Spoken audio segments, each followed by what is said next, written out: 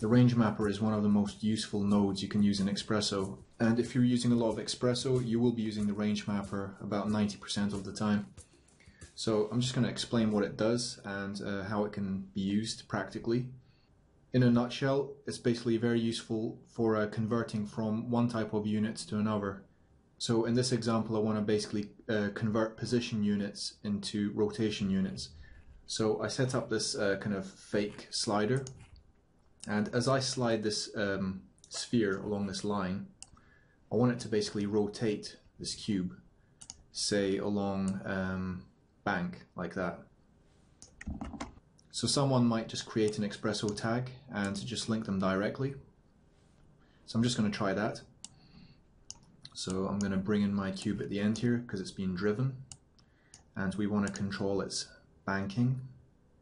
So I'm just selecting B, I'm not selecting rotation because that's basically a vector consisting of three coordinates and this way we just get one uh, value consisting of degrees.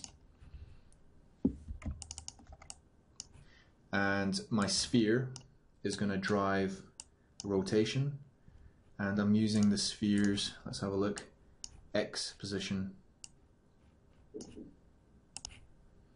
So I'm going to go to coordinates position, global position X, like that. So what happens when we directly link these? Let's try it. So it kind of works, but I've just got no control over this rotation. It's spinning like crazy, and um, I basically want to, I want it to do a 360 degree rotation from here to here. So I want it to start at zero, and then by the time my sphere is about here, I want it to rotate 360 degrees. So how can I do that? So I'm just going to go back to my Xpresso editor, break that link, and I'm just going to search for the range mapper. So there it is under calculate. I'm just going to drag that in. And this is the panel with all our options. So my input is my sphere's x position. So input range is um, user defined because none of these apply. It's not degrees, it's not radians, and it's not percent. So I'm just going to leave that at user defined. And the output range is the global rotation banking of my cube. So that will be degrees. I'm just going to select degrees. So let's have a look. Um, so sphere, when it's at about, say here, that's about minus 300 for x. And then 300 is the upper limit. So basically from here to here, I want this cube to spin 360 degrees only. So basically my input lower is going to be minus 300 x units and my input upper is going to be 300 x units and my output lower is 0 and output upper is 360 so that is already how I want it.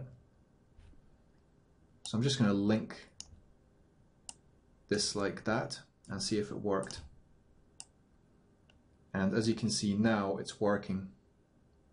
It's only spinning 360 degrees in that range. And uh, one thing to notice, basically it continues to spin even after 300, which is what I defined. So if you want to stop that, we can go back to the range mapper and you can choose clamp. So clamp lower and upper.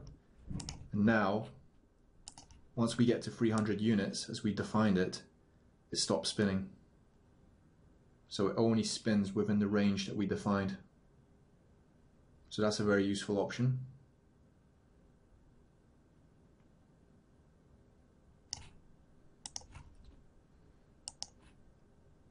So we're basically mapping uh, minus 300 x units to 0 degrees and then we're mapping 300 x units to 360 degrees. So um, I hope you kind of you can grasp how that works. And if we check reverse, it basically just does the same thing, but now it's spinning in the opposite direction. So it's spinning counterclockwise, and if we uncheck reverse, it's spinning clockwise uh, I think it basically just makes this minus 360. It's the same as doing that. Yep. And uh, one last thing, uh, you'll notice this graph here. So right now our um, rotation is linear. So basically there's no easing. It's just a, we're getting basically a direct linear conversion between these values. But uh, if I kind of choose a different type of curve, we've got some spline presets. Could try a cubic. So basically here it's going to start off rotating very slowly and then it's going to speed up towards the end. So let's try that. And as you can see, yeah, it's definitely easing in and then it gets faster towards the end.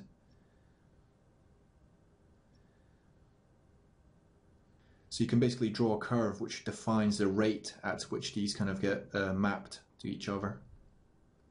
And we could also do some kind of bell curve. So um, theoretically, I'm just going to delete this node, maybe this point as well. Uh, this should kind of start spinning one way and then the other way. So you could make some pretty uh, complicated kind of rigging setups with this technique.